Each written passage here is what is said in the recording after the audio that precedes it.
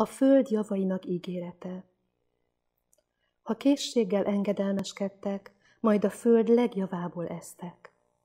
Ézsaiás könyve, első fejezet, 19. vers.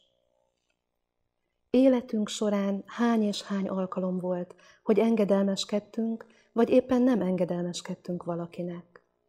Volt, hogy gyermekkorunkban ígértek valamit, ha ezt vagy azt megtesszük. Később kedvesünknek kérés nélkül is engedelmeskedtünk. Hát pontosan erről van szó. Ami kedves megváltónknak még az sem elég, ha engedelmeskedünk. Lehet ám azt ökölbe szorított kézzel is tenni, hanem azt mondja, ha készséggel engedelmeskedünk. Más fordításokban meg úgy olvasom ezt az ígét, ha engedelmesen figyeltek rám, ha készségesen hallgattok rám, ha hajlandók és engedelmesek lesztek, ha kész akarattal engem hallgattok, a föld javaival éltek. Vajon mit akar a föld javaival élés? Eszembe jutott egy szakasz Malakiás könyvéből. Avagy az ember csalhatja az Istent, ti mégis csaltatok engem. És azt mondjátok, mivel csalunk téged? A tizeddel és az áldozni valóval.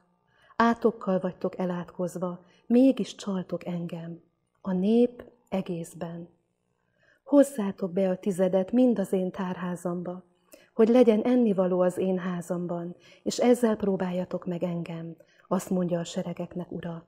Ha nem nyitom meg néktek az egek csatornáit, és ha nem árasztok reátok áldást bőségesen, és megdorgálom érettetek a kártevőt, és nem veszti el földetek gyümölcsét, és nem lesz a szőlőtök meddő a mezőn, azt mondja a seregeknek, Ura.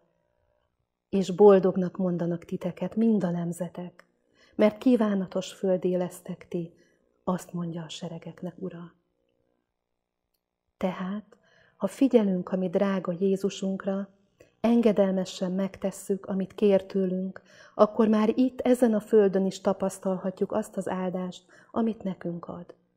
De ami még ennél is sokkal fontosabb, az örök élet ígérete, az újjáteremtett föld ígérete. Érdemes engedelmeskednünk, ezért hát kezdjük el még ma